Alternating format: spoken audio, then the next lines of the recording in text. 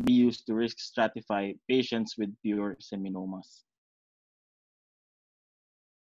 So the beta HCG is the most commonly elevated serum tumor marker in testicular cancers. Um, elevated serum concentrations of beta HCG may be present with both seminomatous and non-seminomatous tumors. Um, it is noted that um, patients with post-orchiectomy beta HCG levels of more than 5,000 IU per liter should receive a brain, um, undergo a brain MRI since they are at increased risk of having brain metastases. Um, this um, rule of um, beta HCG levels of more than 5,000 IU per liter um, applies to most um, uh, staging workups in testicular cancers. Um, elevated beta HCG has also been reported in other tumors. So it is important to remember that, um, um, such as lymphoma, bladder cancer, and adenocarcinomas. And further workup should be considered before initiating treatment for mildly elevated beta HCG. Um, since um, other factors such as uh, marijuana intake, hyperthyroidism, and hypogonadism can cause elevations of beta HCG. So elevated serum AFP is not associated with pure seminoma. Um, they are particularly associated with yolk sac tumors, but can also be produced by embryonal carcinomas and teratomas. It is important to know that the diagnosis of a seminoma is restricted to pure seminoma histology and a normal serum AFP levels. So other tumors, such as hepatocellular carcinomas and gastric carcinomas, can also cause AFP elevations. Um, if an elevation of serum AFP is due to a metastatic non-seminomatous germ cell tumor, then the AFP typically will be steadily rising. So generally, decisions to treat uh, should not be based solely on AFP values. So um, clinical presentation of patients with testicular ca cancers, um, they would usually present with a painless or painful testicular nodule, mass, enlargement, or an induration. So often patients would present with um, testicular discomfort or swelling suggestive of epididymitis or orchitis. A trial of antibiotics is never warranted in a man with a man a mass suspicious for GCT, but can be considered in men with um, pain without a mass on further workup. So other patients uh, may present with enlarged lymph nodes of the lower neck or upper chest, uh, retroperitoneal mass, gynecomastia, venous thrombosis, or pulmonary embolism. So for the workup, um, we usually do a transscrotal ultrasound with Doppler. It confirms the presence of a testicular determines whether the exotesticular, and it explores the contralateral testis. Um, so germ cell tumors are typically heterogeneous, echoic, and vascular or on ultrasound. And serum markers um, need to be assessed as they are used for prognosis and staging. So transscrotal biopsy of the testis the risk of local or atypical regional recurrences and can complicate management. So elevated levels of the serum tumor marker should be followed up with repeated tests to allow for precise staging. So to assess for metastatic disease, imaging studies of the chest, abdomen, and pelvis should also be performed. Um,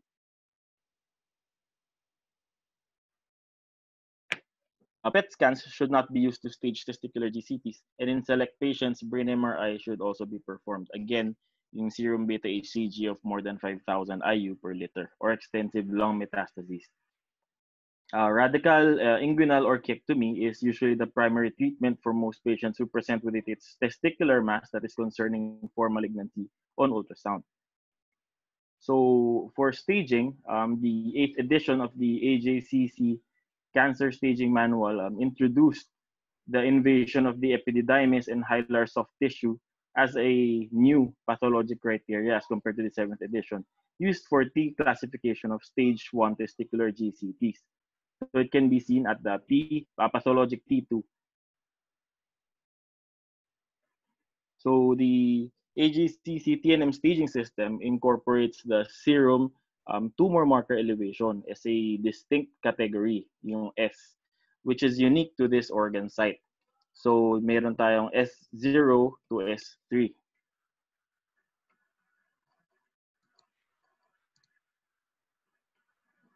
So, um, guidelines recommend managing patients with stage 1 non-seminoma based um, on the presence or absence of lymphovascular invasion um, invasion of the spermatic cord, or invasion of the scrotum, which are risk factors known to be associated with um, an increased risk of relapse.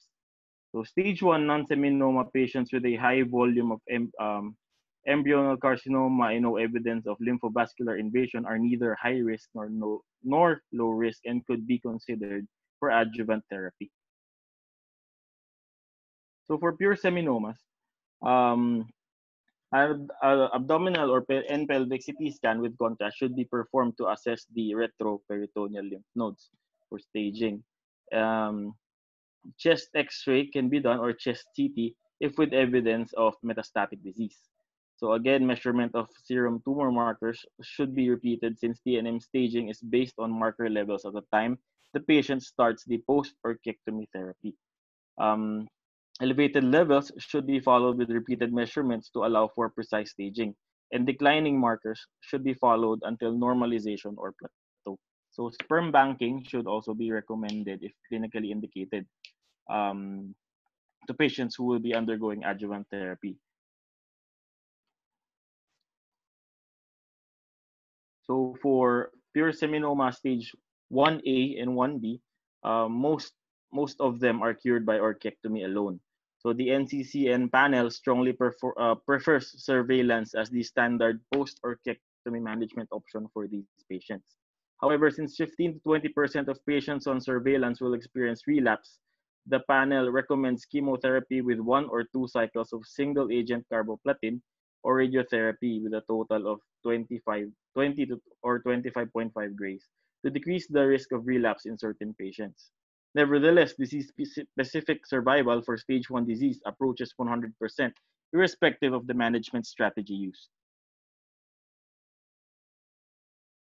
So since most uh, patients with stage 1 pure seminoma are cured by orchiectomy alone, um, the panel strongly prefers surveillance as the standard post-orchiectomy management option for these patients. Um, again, disease-specific survival for stage 1 disease approaches 100% irrespective of the management strategy used. Um, studies concluded that a single dose of carboplatin is less toxic and as effective in preventing disease relapse as adjuvant RT in men with stage 1 pure seminoma after orchiectomy. However, it should be noted that there are limited long-term follow-up data regarding the toxicity and efficacy of carboplatin. So follow-up for patients with stage 1 seminoma managed with active surveillance after orchiectomy includes a history and physical examination with optional measurement of um, serum tumor markers performed every 3 to 6 months for the first year every six months for year two, every six to 12 months for year three, and annually for years four and five. So the measurement of serum tumor markers is optional due to the rarity of marker only relapse. So the panel also recommends an abdominal pelvic CT scan with or without contrast at 3, 6, and 12 months during the first year, every 6 months for year 2, every 6 to 12 months for year 3, and then every 12 to 24 months for years 4 and 5. CT is not recommended beyond five years unless clinically indicated. Um, so follow-up of um, patients treated with adjuvant therapy, um, chemotherapy or RT includes a history and PE with optimal measurement, optional measurement um, of post-orchiectomy serum tumor markers performed every 6 to 12 months for the first two years and annually for years 3, 4, and 5. Again, CT is not recommended beyond five years unless clinically indicated. So, um, as you can see, uh, mas strict yung um, surveillance kapag, uh, mas strict yung follow-up pag active surveillance yung ginawa post-orchiectomy as uh, compared to adjuvant treatment. So stage um, 1S, pure seminoma is very uncommon and requires persistent elevation of serum tumor markers following orchiectomy. Elevated tumor markers increase the risk of disease outside the retroperitoneum. Therefore, systemic therapy should be encouraged. Uh, persistent elevation of serum markers is usually um, evident of metastatic disease, which will show up radiographically if um, doubt exists in the diagnosis. So the NCCN panel recommends repeating measurements of serum tumor markers and performing imaging studies to scan for evaluable disease. So um, stage 2A, uh, pure seminoma, is defined as metastatic disease to lymph nodes um, with a lymph node mass measuring less than or equal to 2 cm in the greatest diameter. Um, a lymph node mass measuring 2 to 5 cm in greatest diameter is then classified as stage 2B disease. So the guidelines recommend RT or chemotherapy with three cycles of bleomycin, etoposide, and cisplatin, or four cycles of etoposide and cisplatin. So after primary treatment with chemotherapy, uh, patients with stage 2A, 2B, 2C, or 3 seminoma should be evaluated by a CT scan with contrast of the chest, abdomen, and pelvis, as well as measurement of serum tumor markers. Patients with normal serum AFP and beta HCG levels and either no residual mass or a residual mass equal or less than 3 cm should undergo surveillance. Surveillance is also recommended for patients with a residual mass more than 3 cm and normal serum AFP and beta HCG levels. Additionally, a PET CT scan from skull base to mid thigh can be considered to better delineate the presence of viable residual tumor, since CT alone cannot discriminate between residual neoplastic lesions and necrotic or fibrotic tissue. So for follow-up, um, the recommended follow-up schedule for patients with stage 2A and stage 2B seminomas after RT history and PE with optional measurement of serum tumor markers every three months for year one, and then every six months for years two through five. So an abdominal pelvic CT scan um, with contrast is recommended at three months and six to 12 months for year one, annually for years two and three, and then as clinically indicated for the following years. So chest x-ray is recommended every six months for the first two years only. So patients with um, stage 2C or stage 3 seminomas are classified as either good or intermediate risk. Um, intermediate risk in seminoma is based on metastasis to organs other than the lungs. So all stage 2C and stage 3 seminomas are considered good risk, except for stage 3C disease, which involves non-pulmonary visceral metastasis, like the bone, liver, or brain, and is considered intermediate risk. So standard primary chemotherapy is used for both groups of patients. However, three cycles of um, BEP or four cycles of EP are recommended for patients with good risk disease, while more intensive chemotherapy with four cycles of BEP or four cycles of VIP, um, etoposide, uh, mesna, ifosfamide, and cisplatin is required for are recommended for patients with intermediate risk disease. So follow-up is the same as post-chemo primary treatment for stage 2A and 2B.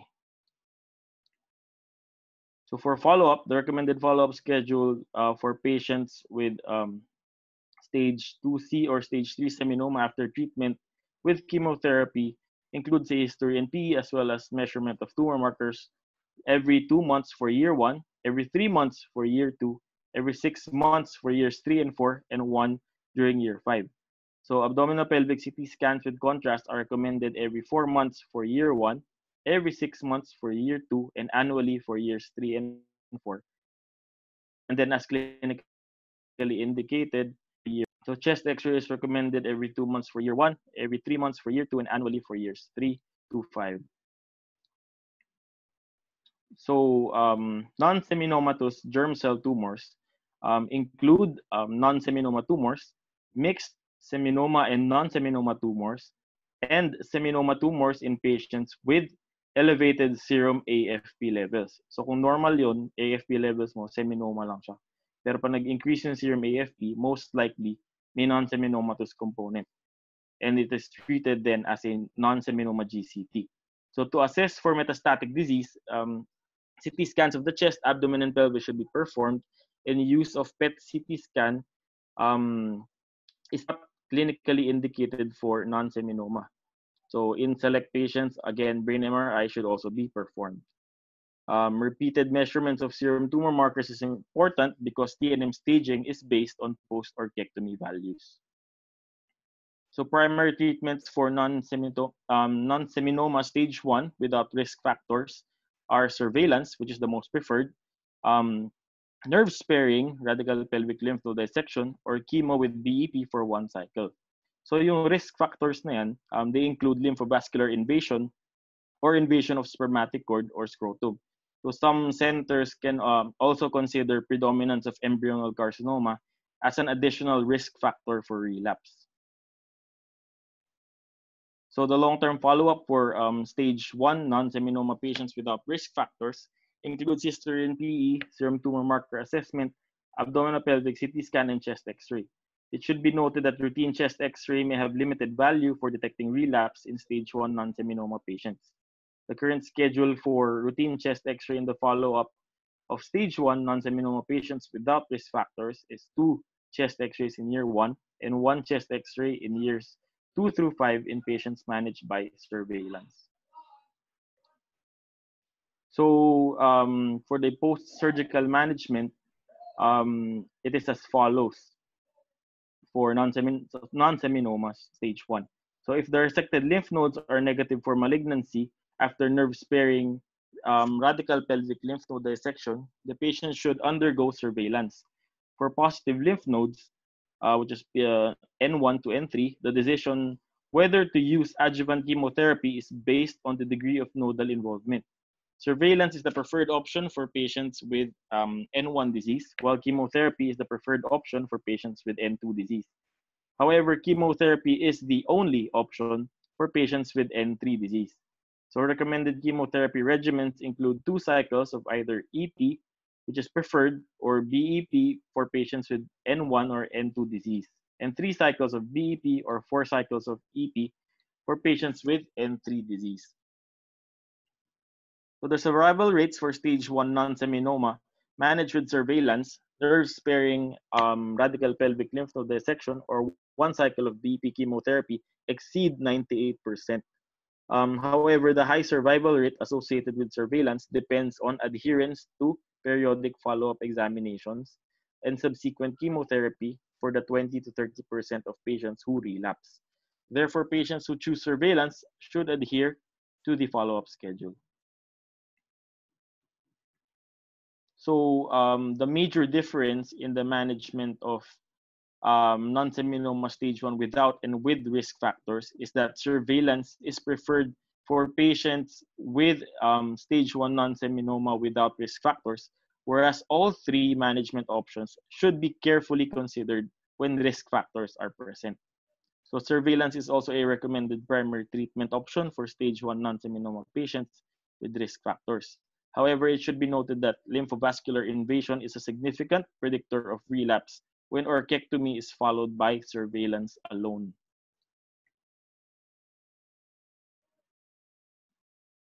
So um, the follow-up difference lies in active surveillance where non-seminomatous germ cell tumor stage 1 with risk factors adheres to a stricter follow-up schedule.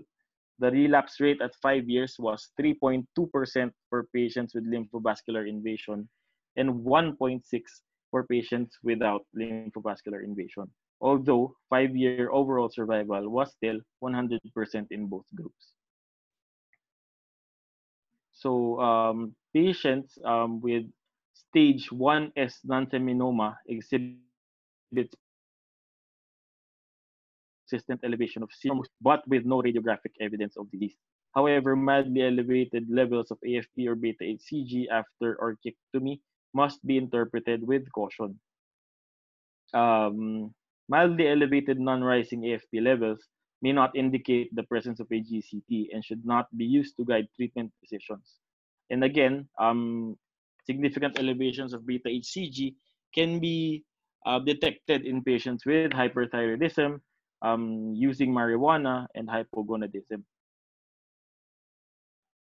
So the vast majority of stage 1S patients have serum tumor markers in the S1 range and they should receive primary chemotherapy for good risk disease, either three cycles of BEP or four cycles of EP.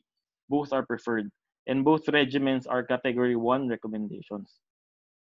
And either is preferable to initial um, radical pelvic lymph node dissection as these patients nearly always have disseminated disease. So um, for non-seminoma stage 2A, um, primary treatment um, for patients with stage 2A depends on post-orchiectomy serum tumor marker levels. For patients with normal post-orchiectomy levels of AFP and beta-HCG, the NCCN panel recommends either nerve-sparing RP-LND or chemotherapy with three cycles of BEP or four cycles of EP as primary treatment options. For stage 2A patients with persistently elevated AFP or beta-HCG levels, um, again, they recommend primary chemotherapy with three cycles of BEP or four cycles of EP. So um, if chemotherapy is given, EP is the preferred regimen in this setting. The risk of relapse in clinical stage 2A, non-seminoma patients with um, N2 or N3 disease after radical pelvic lymph node dissection is more than 50%. This risk is reduced to less than 1% um, with two cycles of adjuvant cisplatin-based chemotherapy. So yung more than 50% na risk turns to less than 1% with adjuvant cisplatin-based chemotherapy. So therefore, the NCCN panel prefers two cycles of adjuvant chemotherapy with EP or BEP to surveillance for N2 disease and recommends full course chemotherapy for P, um, N3 disease. So subsequent management after primary chemotherapy depends on the size of the residual mass on CT scan. So for post-surgical um, RP-LND, management and follow-up is directed depending on nodal disease as was described earlier during discussion of the stage 1. So for the stage 2B, um, primary treatment depends on post-orchiectomy levels uh, tumor marker levels and radiographic findings. When tumor marker levels are normal, the CT findings determine the proper course of treatment. If abnormal radiographic findings are limited to lymph node metastasis within lymphatic drainage sites in the retroperitoneum, the patients may receive primary chemotherapy um, with either three mm. cycles of BEP or four cycles of EP or primary nerve sparing um, RP-LND if metastatic disease is not confined um, within the lymphatic drainage sites, primary chemotherapy is recommended. For stage 2B, non-seminoma patients with persistent marker elevation, the recommended treatment option is also primary chemotherapy. So post-chemo and post-surgical management and follow-up is the same as for stage 2A.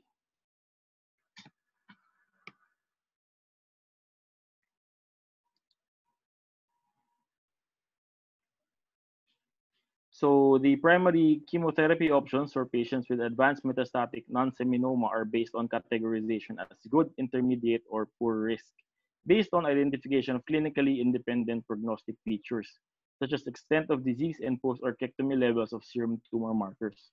For good risk patients, three cycles of BEP or four cycles of EP are advised. Both regimens are well tolerated and cure approximately 90% of patients. For patients with intermediate risk disease, the cure rate is approximately 70% with a standard chemotherapy regimen of four cycles of BEP. Poor risk patients undergo four cycles of BEP or VIP with fewer than 50% having complete response and 30% noted to be dying of their disease. So if a complete response to chemotherapy is found by radiographic imaging, and the tumor marker levels are normal, the NCCN panel recommends surveillance, but RP-LND can be considered in patients with retroperitoneal lymphadenopathy prior to chemo. If there is partial radiographic response to chemotherapy and tumor marker levels are normal, then surgical resection of all residual masses is recommended. Further management for patients who experience a partial radiographic response to chemotherapy with abnormal tumor marker levels is guided by the kinetics of the tumor markers.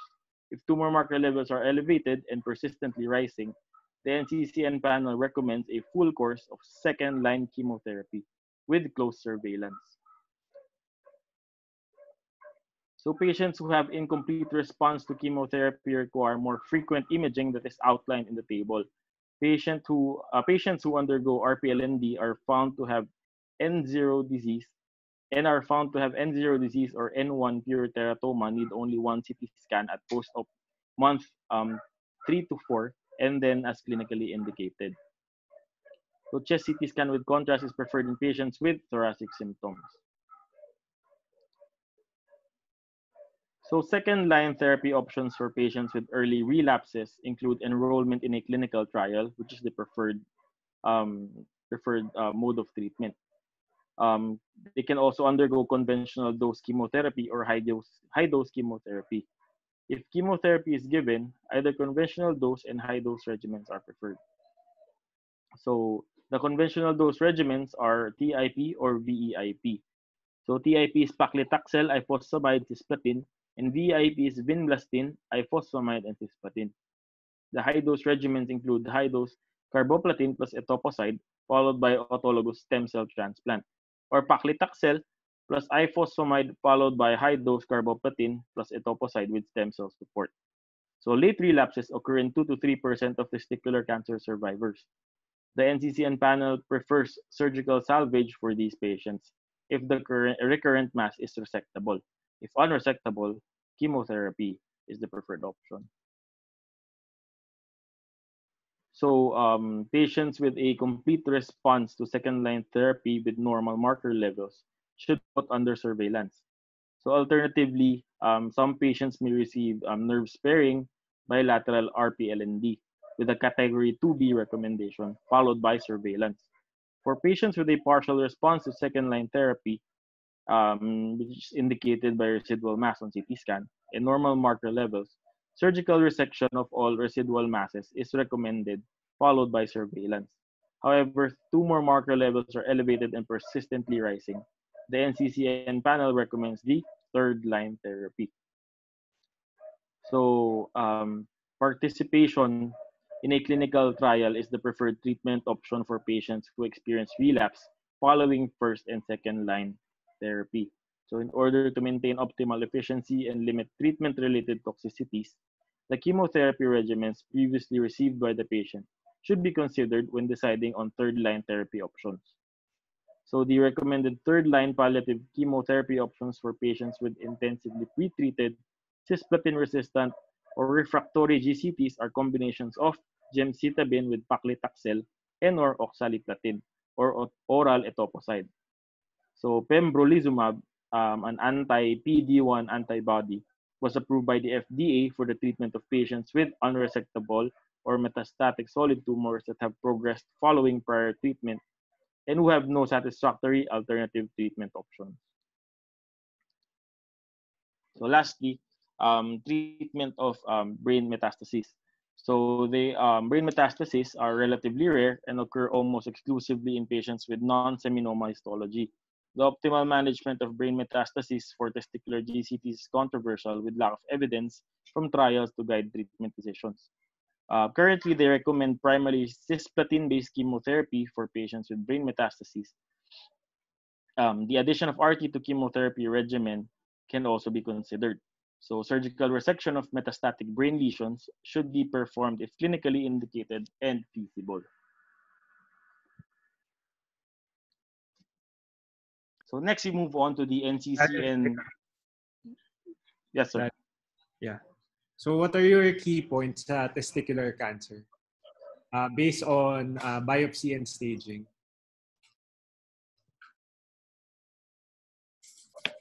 Na-mention mo naman siya.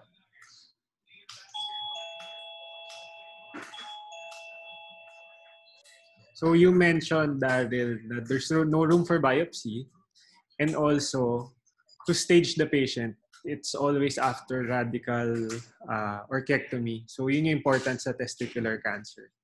So you don't do biopsy. Actually, you also don't do uh, testis sparing surgery unless uh, unless your your suspicion is uh, non-cancer. So you can do that. Pero ang important sa testicular cancer is you stage after orchiectomy. And also, hindi mo masyado na-mention yung imaging after orchiectomy. Uh, although yung important yon and yung serum markers. And also, you keep mentioning BEP and EP. So, when do we choose which?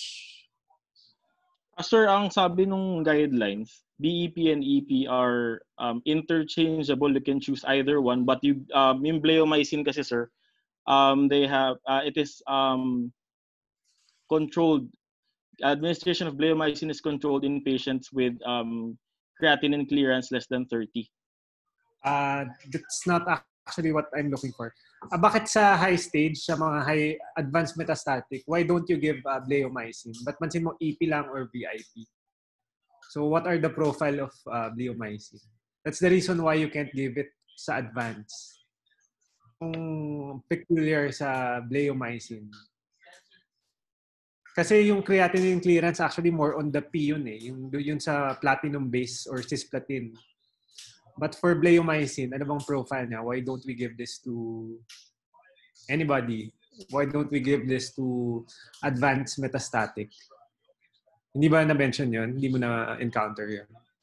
Hindi ko na basa yun, sir. Hindi nakasulat sa guideline. So, the profile of, uh, the problem with bleomycin, lalo na sa mga advanced, yung pulmonary fibrosis. So, yun yung problem niya. So, kunwari, may siguro smoker, so you can't give that kasi may merong chance na magka-pulmonary fibrosis. That's why it's not given with advanced cancers. So, yun yung tandaan nyo doon. And also, hindi mo na-mention pero nasa slide mo, regarding teratoma, why do you think surveillance lang yung nandun kahit advanced? What's the problem with teratomas? Bakit surgery lang yung treatment niya? Uh, sir, usually, um, teratomas, um, hindi siya nag-spread gaano. And hindi siya Ah, tinatamaan ng chemotherapy. Not really. Nagsispread siya. Ang hinahanap ko lang word is resistant. It's radio-resistant, it's RT-resistant, and it's chemo-resistant. So that, those are the key points I think at your level, Daryl. Yung mga basics. Then, syempre, ako, ah, kami memorize na lang yung follow-up. Ganyan. But for your level, yun, yung mga basics. Kung bakit, there must be a reason bakit ganyan yung NCCN guideline. So, yun yun, yung sa bleomycin, pulmonary fibrosis, then uh, sa teratoma, yun nga, uh, chemo RT resistant. Ah, mahaba ba tong kidney cancer? Ah, hindi sir, mas maiksi. Sige. Tapos if ever ano late yung sa Wednesday na lang si ay di si Glennis na lang muna, ikaw na lang kasi ano siya eh, duty siya next week eh, so hindi siya makaka-report.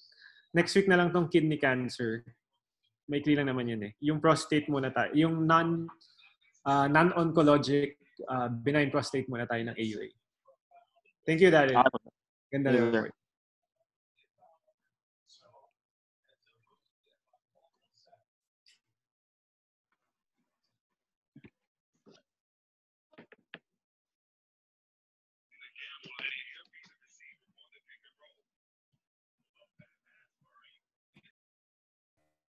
Is a histologic disease that refers to the proliferation of smooth muscle and epithelial cells within the prostatic transition zone. The exact etiology is unknown. However, the similarity between BPH and the embryonic morphogenesis of the prostate has led to the hypothesis that BPH may result from a reawakening in adulthood of the embryonic induction processes. The enlarged gland has been proposed to contribute to the overall lower urinary tract symptoms complex via at least two routes. Direct bladder outlet obstruction from enlarged tissue, which is the static component, and from increased smooth muscle tone and resistance within the enlarged gland, which is the dynamic component. Voiding symptoms have often been attributed to the physical presence of BOO. Detrusor overactivity is thought to be a contributor to the storage symptoms.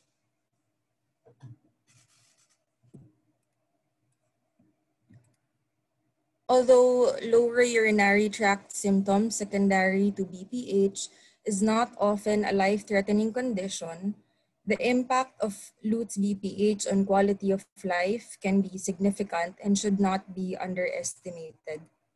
When the effect of BPH-associated LUTS on quality of life was studied in a number of community-based populations, for many, the most important motivations for seeking treatment were the severity and the degree of bother associated with the symptoms. These were also important considerations when assessing BPH and deciding when treatment is indicated. Traditionally, the primary goal of treatment has been to alleviate bothersome LUTs that result from prostatic enlargement. But more recently, treatment has additionally been focused on the alteration of disease progression and prevention of complications associated with BPH. So now let's define the terms. Uh, LUTs include storage or voiding disturbances common in aging men. Storage symptoms are experienced during the storage phase of the bladder and include daytime frequency and nocturia. Voiding symptoms, on the other hand, are experienced during the voiding phase. LUTs may be due to structural or functional abnormalities in one or more parts of the lower urinary tract that comprises the bladder, bladder neck, prostate, distal sphincter mechanism, and urethra.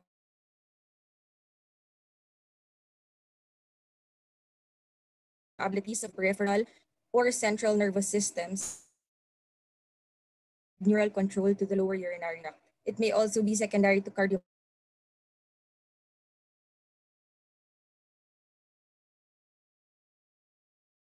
survey and treat. Uh, enlargement of the prostate gland from hyperplasia can cause BOO and be major cause and be a major cause of LUTs or mimicked by other issues such as infection, malignancy, central peripheral neurologic disease, or overactivity, hypoactivity of the detrusor muscles. It is becoming widely accepted that the symptoms we relate in many older, males may not have an etiology in prostate enlargement. Hence, uh, the term LUTs independent of BPH has been introduced. While um, LUTs secondary to BPH is still meaningful to clinicians, less frequently it has been associated with other comorbidities including acute urinary retention, renal insufficiency, uh, development of gross hematuria, bladder calculi, urinary incontinence, and recurrent urinary tract infection.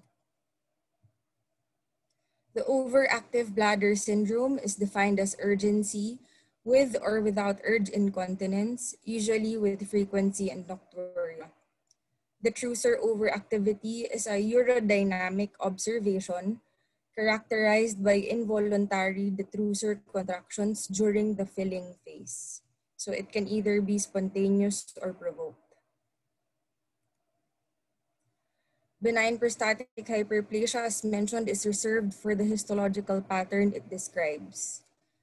Benign prostate prostatic enlargement is used when there is gland enlargement and it is based on the size of the prostate. Benign prostatic obstruction is used when obstruction has been proven by pressure flow studies or is highly suspected from flow rates and if the gland is enlarged. Bladder outlet obstruction is the generic term for all forms of obstruction to the bladder outlet, including BPO.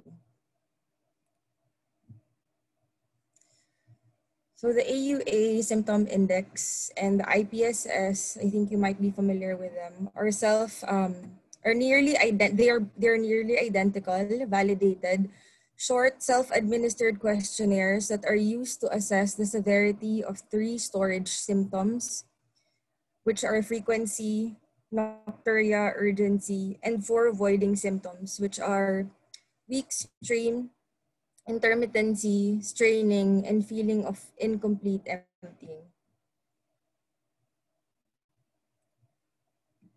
So this is the AUA uh, SI questionnaire.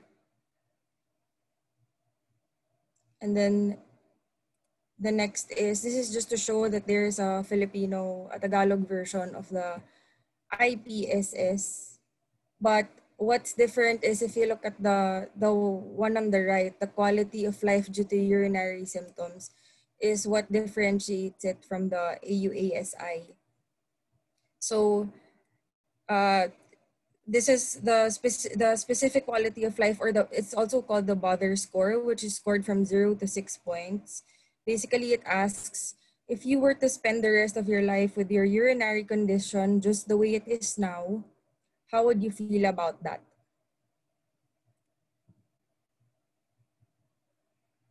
Another is the BPH Impact Index, which is a questionnaire that assesses the effect of symptoms on everyday life and their interf interference with daily activities, thus capturing the impact of the condition. This questionnaire can be administered in conjunction with the AUASI and provides useful additional information to the single quality of life question. Uh, I would like to discuss this because uh, along the way through uh, through this presentation, you will be seeing these um, these terms. So the guideline statements were drafted by the panel based on the outcomes data and were tempered by the panel's expert opinion. So the statements were graded using three levels with respect to the degree of flexibility in their application.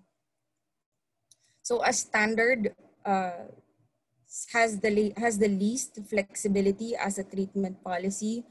A guideline statement is a standard if the health outcomes of the alternative interventions are sufficiently well known to permit meaningful decisions, and there is a virtual unanimity about which intervention is preferred. A recommendation, on the other hand, has significantly more flexibility.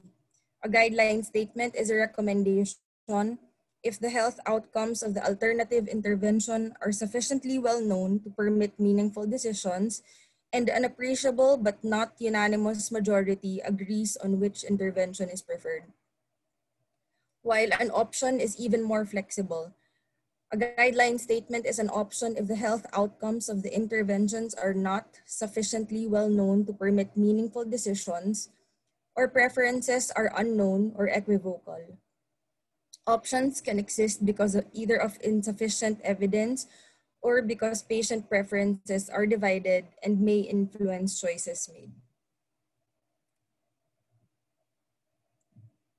So there are two uh, treatment algorithms that were adapted for the for this guideline that we're discussing. One is on the basic management of LUTS in men, and the other is uh, on the detailed management for persistent bothersome LUTS. So let's start with the basic management. Uh, we begin with a diagnostic evaluation or the recommended tests. The medical history should focus on the nature and duration of LUTS, sexual function, general health issues, including fitness for invasive procedures, current medications, and prior surgical procedures that could affect LUTS. The AUASI quality of life question validated quantitative assessment tools to evaluate symptoms and bother. A focused physical examination should be performed to assess the suprapubic area for bladder distension and motor and sensory function of the perineum and lower limbs. A DRE should be performed to evaluate anal sphincter tone and the prostate gland with regard to approximate size, consistency, shape, and abnormalities suggestive of, of prostate cancer. The DRE estimation of prostate volume has been shown to be inaccurate when compared to transrectal ultrasound the volumes of small prostates tend to be overestimated and those of large glands tend to be underestimated.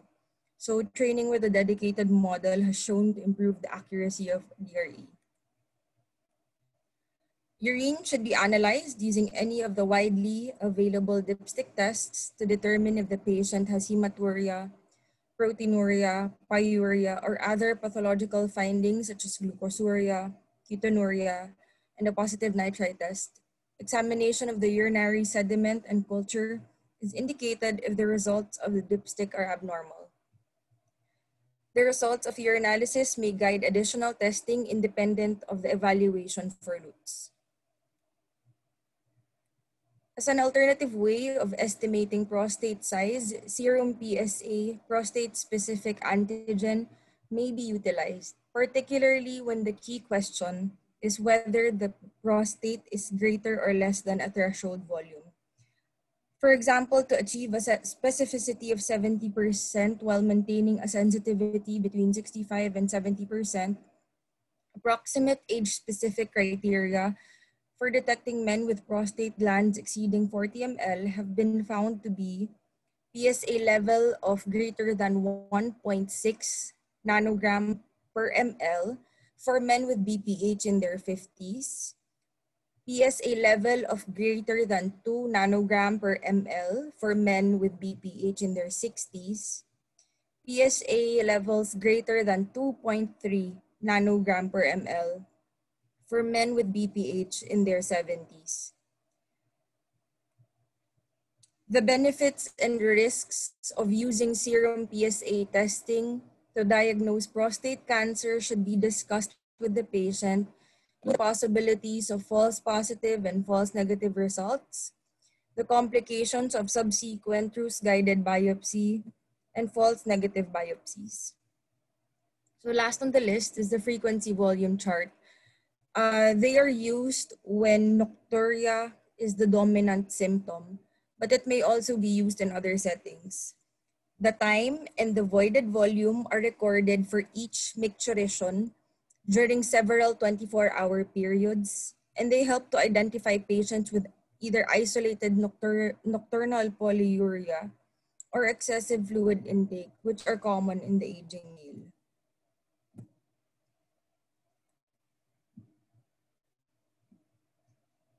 So this is going back to the uh, main diagram. Let's start with uh, the one on the left. When initial evaluation demonstrates the presence of LUTS only, with or without some degree of non-suspicious prostate enlargement, if the symptoms are not significantly bothersome, or if the patient does not want treatment, no further evaluation is recommended. The patient should be reassured and can be seen again if necessary.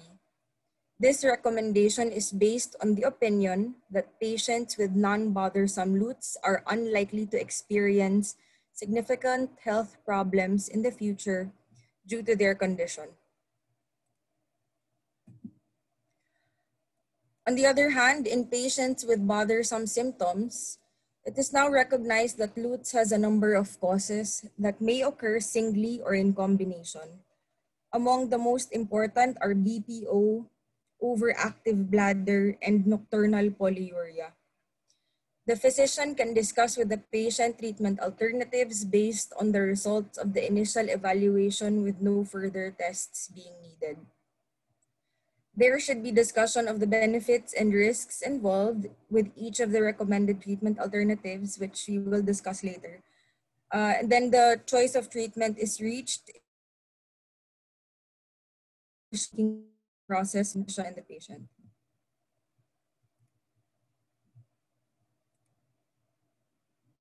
Sorry, let's start with this uh, yellow triangle over here. If the patient has predominant significant nocturia and is awakened two or more times per night to void, it is recommended that the patient completes a frequency volume chart for two to three days. The frequency volume chart will show 24-hour polyuria or nocturnal polyuria when present. The first of which has been defined as greater than 3 liters total output over 24 hours. So in practice, patients with bothersome symptoms are advised to aim for a urine output of 1 liter per 24 hours. Nocturnal polyuria, on the other hand, is diagnosed when more than 33% of the 24-hour urine output occurs at night. It is managed uh, by reduction of fluid intake, uh, or other treatments such as desmopressin can also be considered. If symptoms do not improve sufficiently, these patients can be managed similarly to those without predominant nocturia. So uh, let's go to, to this arm now. Um, if the patient has no polyuria and medical treatment is considered, the physician can proceed with therapy by focusing initially on modifiable fac factors such as concomitant drugs, regulation of fluid intake, especially in the evening, lifestyle, which is increasing activity for the patient, and diet, avoiding excess of alcohol and highly seasoned or irritative foods. Now, if pharmacological treatment is necessary, it is recommended that the patient be followed to assess treatment success and possible adverse events. The time from initiation of therapy to treatment assessment varies according to the pharmacological agent prescribed. An interval of two to four weeks is recommended for alpha blockers, while um, for five alpha reductase inhibitors, at least a three-month interval is recommended. So if treatment is successful and the patient is satisfied, a once yearly follow-up should include a repeat of the initial evaluation. The follow-up strategy will allow the physician to detect any changes that have occurred, more specifically if symptoms have progressed or, or have become more bothersome, or if a complication has developed which requires surgery. So um, we're done with LUTs that cause little or no bother with bothersome LUTs. Now let's proceed to complicated lower urinary tract symptoms, which um, would be indicated by a suspicious DRE, hematuria, an abnormal PSA, pain, infection, a palpable bladder, or the presence of neurologic disease, or if uh, there is failure of standard treatment, we can proceed now to the detailed management for persistent bothersome LUTs after basic management. So the optional tests for uh, this algorithm, um, first is urinary flow rate measurement is optional. It is useful in the initial diagnostic assessment and during or after treatment to confirm the response. Despite the non-invasive nature of the test and its clinical value, it is an optional test in the detailed evaluation to be performed before embarking on any invasive therapy.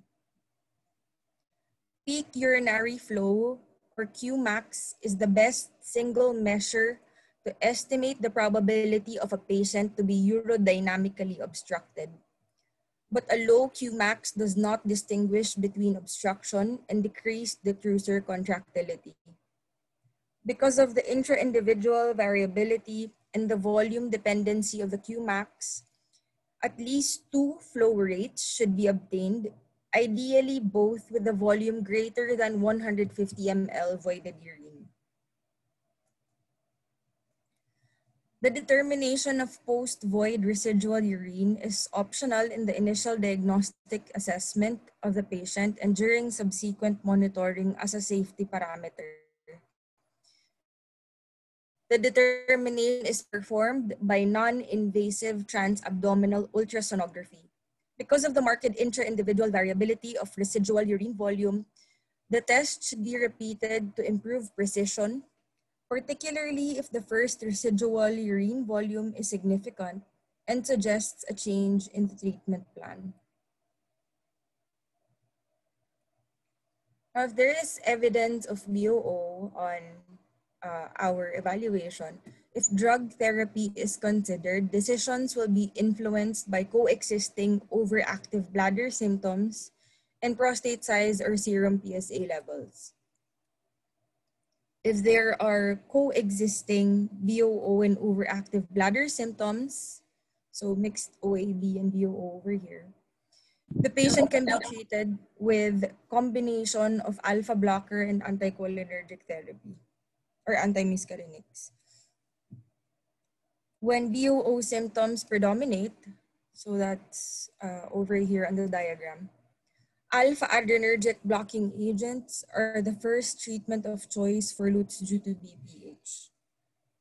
Uh, however, a combination uh, alpha blockers alone, 5-ARIs alone, or combination alpha blocker and 5-ARI therapy have shown the most efficacy when the prostate is enlarged as assessed by PSA levels, transrectal ultrasound, or on DRE. As always, the decision for choice of therapy should be decided in concert with the patient's wishes and concerns. If storage symptoms predominate, so that's uh, in this part of the diagram, uh, an overactive bladder due to idiopathic detrusor overactivity is the most likely cause if there is no indication of BOO from flow study. The treatment options of lifestyle intervention, which includes fluid intake alteration, behavioral modification, and pharmacotherapy with anticholinergic drugs should be discussed with the patient. Um, it is the expert opinion of the panel that some patients may benefit using a combination of all three modalities mentioned. Should improvement be insufficient and symptoms severe, then newer modalities such as uh, botulinum toxin and sacral neuromodulation can be considered. The patient then should be followed to assess treatment success or failure and possible adverse events.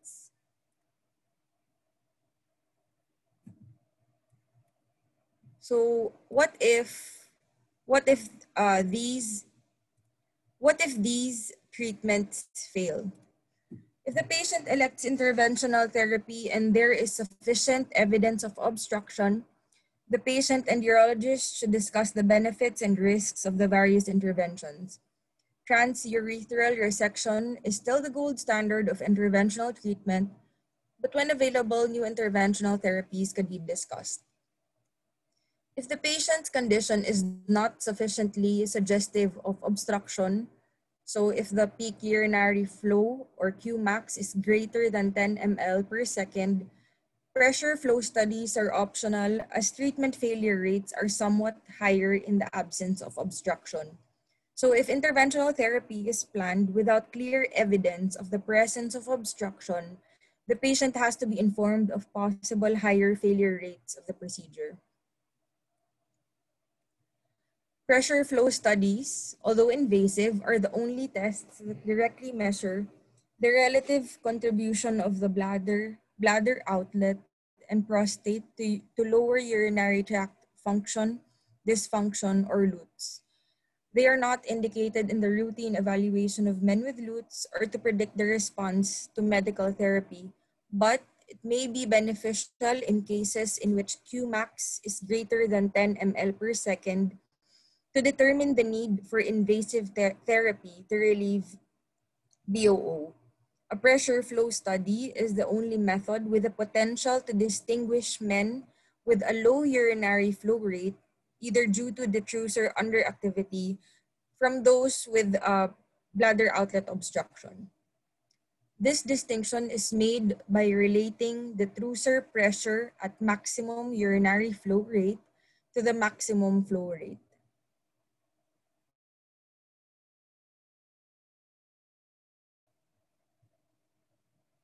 So information on the benefits and harms of treatment alternatives for LUT secondary to BPH should be explained to patients with moderate to severe symptoms. For AUI, SI, that would be a score greater than or equal to 8, who are bothered enough to consider therapy. So these are the treatment alternatives. Watchful waiting or active uh, surveillance. It is a management strategy in which the patient is monitored by his physician but currently receives no active intervention for BPH. The level of symptom distress that individual patients are able to tolerate is highly variable, so watchful waiting may be a patient's treatment of choice even if he has a high AUI-SI score. So that is again emphasizing the, the importance of knowing how bothered the patient is with these symptoms. Symptom distress may be reduced with simple measures such as avoiding decongestants or antihistamines, decreasing fluid intake at bedtime, and decreasing caffeine and alcohol intake generally. Uh, watchful waiting patients usually are re-examined yearly, repeating the initial evaluation as previously discussed.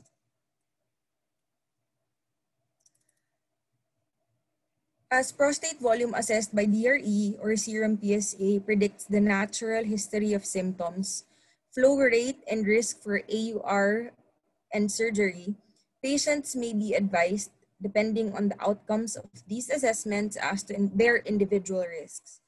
Measures to reduce the risk, such as medical intervention, may be offered depending on the circumstances. So we discuss the medical therapies next. Um, first is alpha adrenergic blockers. Uh, alfuzosin, doxazosin, tamsulosin, and terazosin are appropriate and effective treatment alternatives for patients with bothersome, moderate to severe LUT secondary to BPH. Although there are slight differences in the adverse events pro profiles of these agents, all four appear to have equal clinical effectiveness. The older, less costly generic alpha blockers, which are doxazosin and terazosin, remain reasonable choices, but they require dose titration and blood pressure monitoring. Of note, ejaculatory dysfunction has been reported less frequently with alfuzosin. So the combination of an alpha blocker and uh, 5-ARI therapy is an appropriate and effective treatment for patients with LUTs associated with demonstrable prostatic enlargement based on volume measurement, PSA level, or enlargement on DRE, which was mentioned a while ago. Men with LUT secondary to BPH, for whom alpha blocker therapy is offered, must be asked about planned cataract surgery.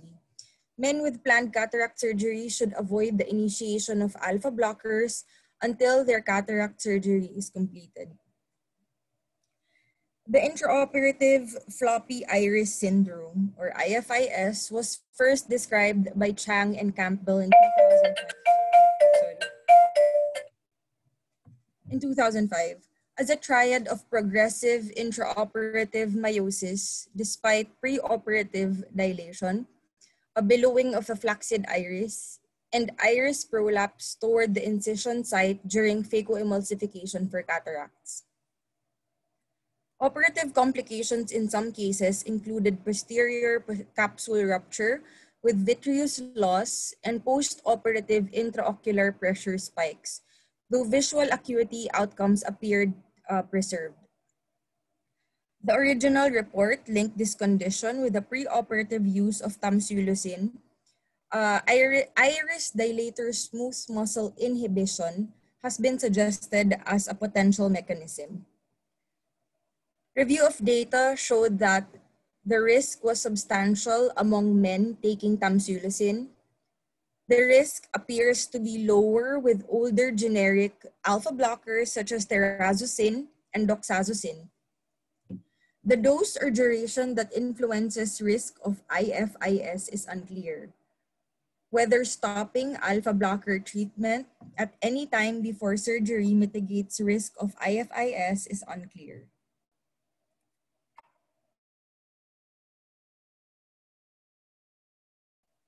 inhibitors they may be used to prevent progression of LUT secondary to BPH and to reduce the risk of urinary retention and future prostate-related surgery.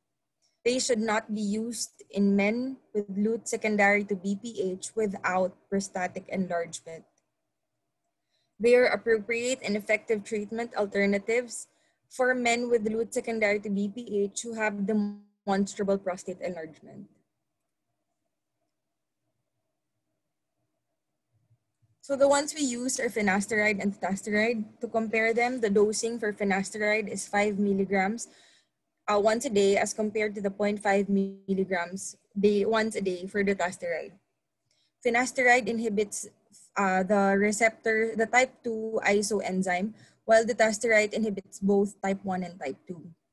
However, in the prostate, and specifically in BPH tissues, type 2 5-alpha reductase is far more common than type 1. Finasteride reduces serum uh, 70% of serum levels of DHT, while dutasteride reduces it by 95%. The serum half-life of finasteride is 6 to 8 hours, while it's at, it's fi at 5 weeks for dutasteride.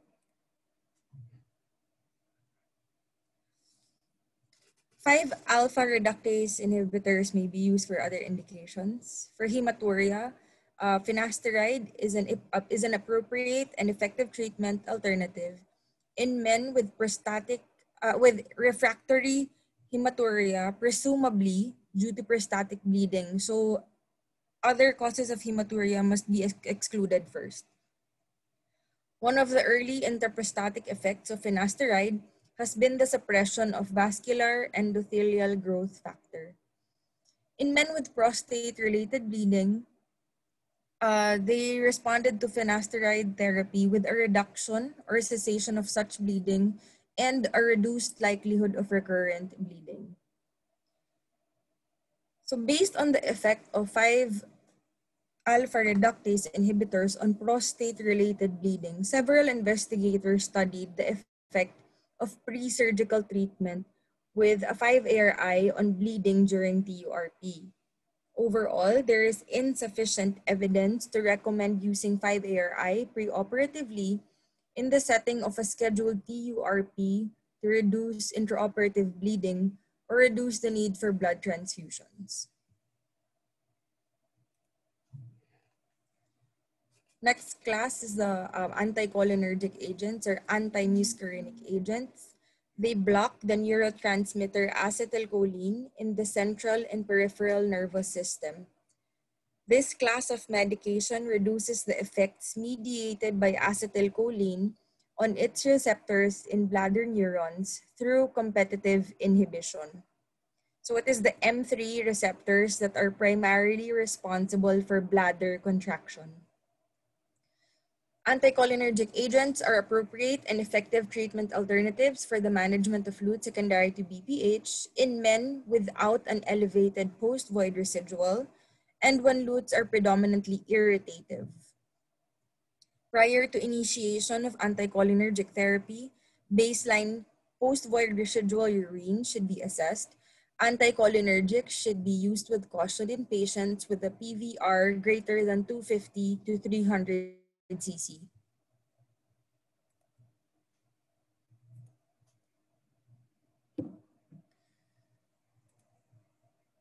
For complementary and alternative medicines, there are there's no dietary supplement, combination phytotherapeutic agent, or other non-conventional therapy recommended for management of LUT secondary to BPH.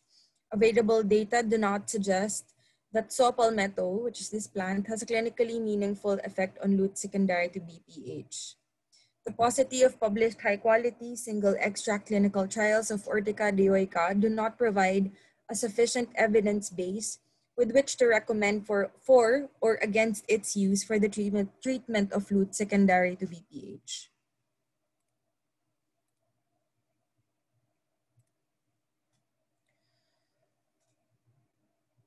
So minimally invasive therapies can also be uh, offered.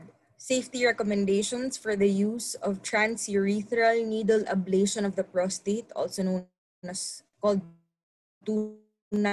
microwave thermotherapy, published by the US FDA, must be followed. TUNA is safe with low perioperative complications such as bleeding and has a low to non-existent rate of associated erectile dysfunction for which this therapy is attractive. TUNA of prostate is an appropriate and effective treatment alternative for bothersome moderate to severe or severe LUT secondary to BPH. Transurethral microwave thermotherapy, on the other hand, heats the prostate using a microwave antenna mounted on a urethral catheter. This interventional therapy is effective in partially relieving the symptoms and bother believed secondary to BPH. It is the least operator dependent of the BPH interventions and predicting responders is difficult and inconsistent.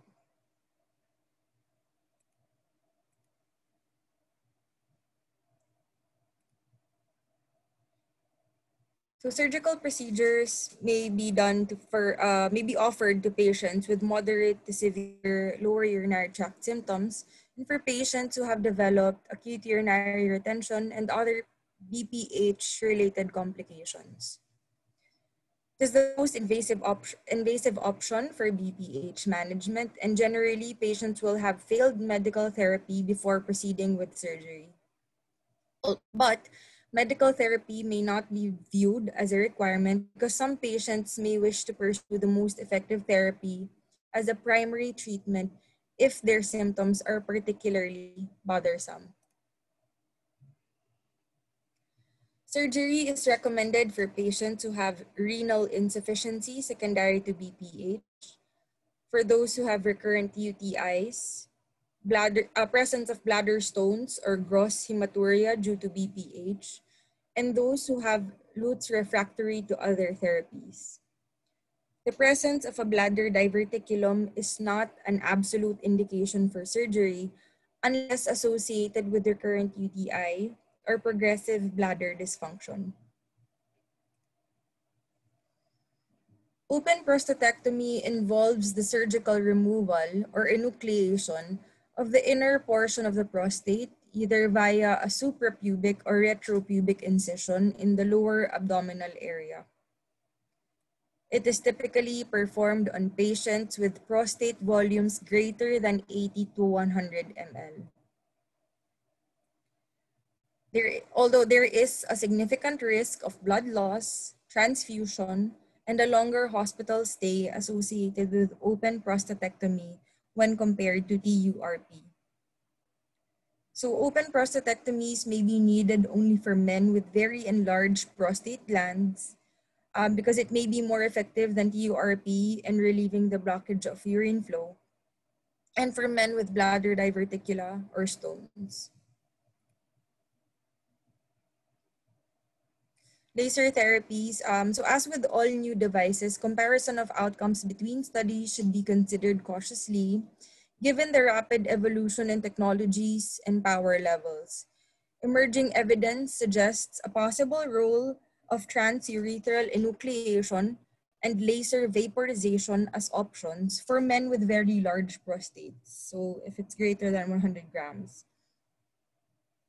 In general, laser energy can be used to produce a variety of effects within prostate tissue, including coagulation necrosis, or vaporization, or resection of tissue.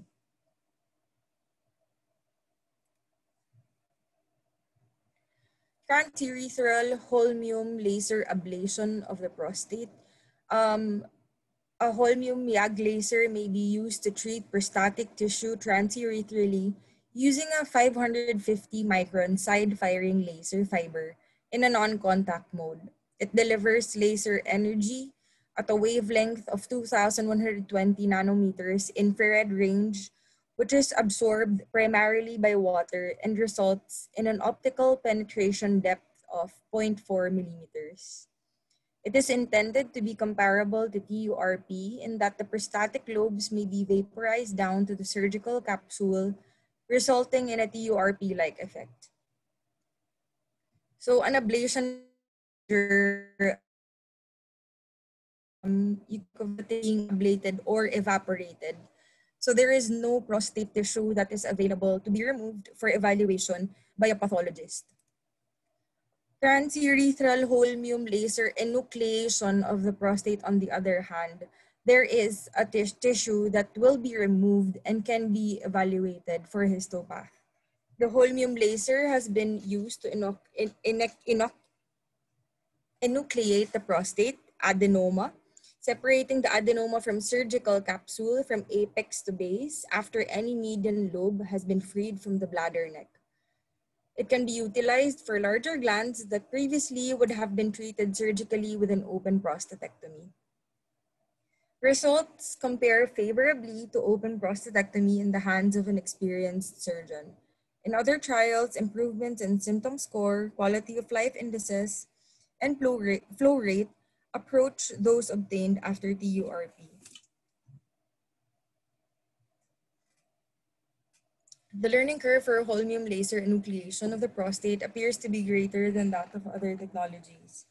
Operative times for holmium enucleation has, have been improved significantly with the advent of the tissue morcellator. So by morcellating the tissue within the bladder, the resection technique could be modified to allow complete enucleation of the median and lateral lobes of the prostate.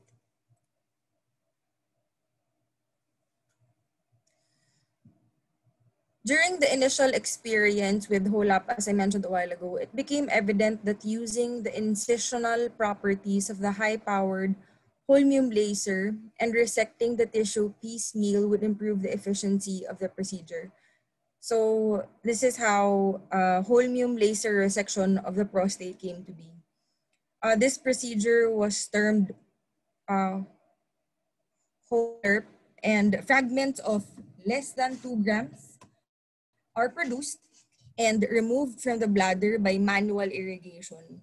A custom-made retrieval loop was used to remove larger tissue fragments from the bladder once the resection was complete down to the surgical capsule. One of the benefits of this procedure is that tissue is available for histological examination. So this is associated with a slightly reduced risk of bleeding, reduced need for blood transfusion, and an, abs and an absence of transurethral resection syndrome. Photoselective vaporization of the prostate is another option. Uh, it uses 600 micron side firing fiber in a non-contact mode. The primary difference from HOLAP is its wavelength of 532 nanometers in the green visible spectrum which is absorbed by both the water irrigation and hemoglobin, resulting in an optical penetration, penetration depth of 0.8 millimeters. Other acronyms for this procedure, KTP and LBO, identify the crystal used in the laser generator. This is performed using normal saline irrigation and a continuous flow scope. Uh, the goal of PVP is to create a TURP-like cavity after ablating the various prostatic lobes down to the surgical capsule. Symptom score improved consistently in all studies, as did quality of life scores and maximum urinary flow rates.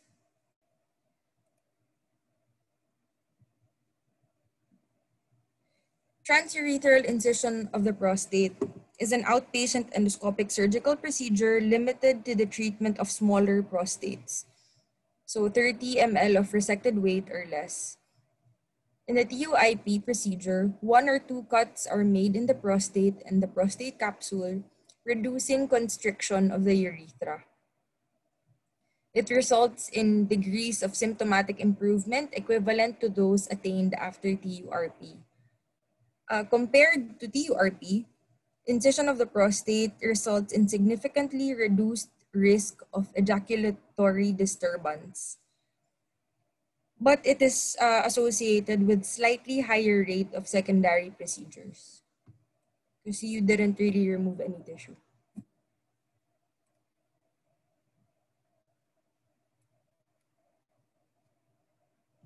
Uh, transurethral electrovaporization of the, of the prostate.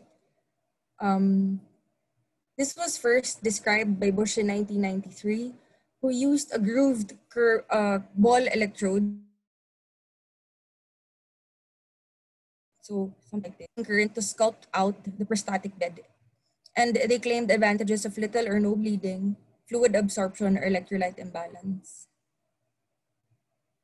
So it can be used uh, for those with moderate to severe LUTs who are significantly bothered by these symptoms. Uh, compared to TURP, transurethral electrovaporization results in equivalent short-term improvements in symptom scores, urinary flow rate, and quality of life indices. And there is a decreased risk of the perioperative complication of transurethral resection syndrome compared with traditional monopolar TURP. The rates of post-operative irritative voiding symptoms, dysuria, and urinary retention, as well, for the, as well as the need for unplanned secondary catheterization appears to be higher for TUVP. So reoperation rates are higher uh, compared to TURP. Long-term comparative trials are needed to determine if the transurethral electrovaporization approach is superior to standard TURP.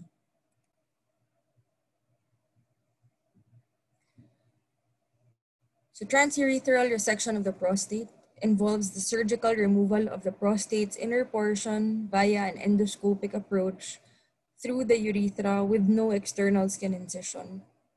Historically, this procedure was the most common active treatment for symptomatic BPH, but potential morbidities, the desire to shorten catheter dwell time, and pressure to reduce hospital length of stay have stimulated the development of alternative procedures This is usually performed under general or spinal anesthesia, so it requires hospital stay. One unique complication of TURP is a TUR syndrome, which is a dilutional hyponatremia that occurs when irrigant solution is absorbed into the bloodstream.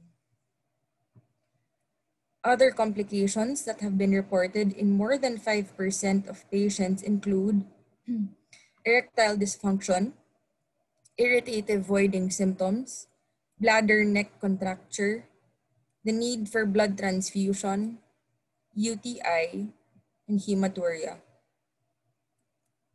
Bipolar resection of the prostate utilizes a special resectoscope loop that incorporates both the active and the return electrodes. This design limits the dispersal of the current flow in the body which theoretically reduces the deleterious effects of the stray current flow. The bipolar loop can be used to resect tissue as well as to coagulate, vaporize, and transect tissue. So because the bipolar resectoscope using point nine, uh, plain NSS as irrigation fluid, the risk of TUR syndrome is eliminated.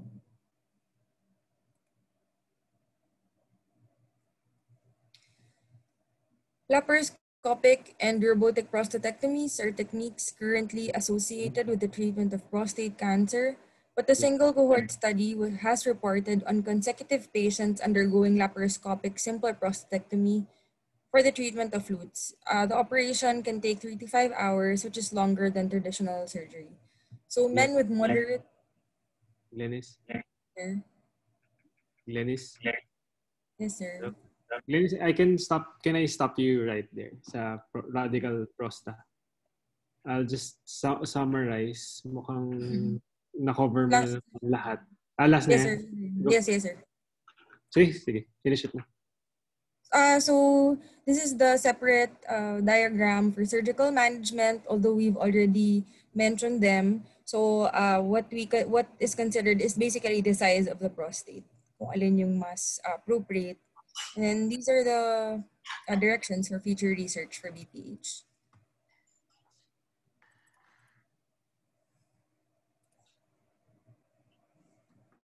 Uh, thank, Thank you, Glenis, uh, for that lecture. Just to summarize, since uh, ubos na yung oras natin.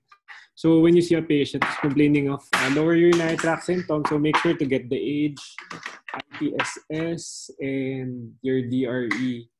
And depending on, and yung mga prerequisite, important yung voiding diary. Regardless, actually sabi kasi dun sa guidelines, for uh, or uh, nocturnal, nocturnal, nocturnal symptoms lang. But we highly advise you do the uh, also for uh, syempre age. So you screen with you screen prostate cancers for patients above 45 years old to 75 years old. So in- benign prostatic kasi ito eh. Pero pagkasama yung guidelines ng prostate cancer, so you screen at 45 years old to 75 years old depending on the quality of life. Pag yung patients nyo African American, you can start by 40 or depending on the risk. And then, yung lagi namin tanong sa mga interns, yung indications for TURP. So I think that was mentioned naman. Actually, hindi siya actually indications for TURP. Ah, intervention siya for uh, indication siya for an intervention. So in that case, so summarize na lang mabilis, uh, Glenn, your indications for intervention. Um, so recurrent UTI, hematuria, uh, bladder calculi, are refractory to uh, medical management. Kailan ako? Diver, uh, naka five ka na. Divertical, uh, refractory to medications, trial without catheter, tapos azotemia. So, those- insufficiency. So I apologize. I underestimate. I uh, I underestimated the time. So uh, let's just take an attendance. And uh, and I'll see you Wednesday. Attendance na. Wow.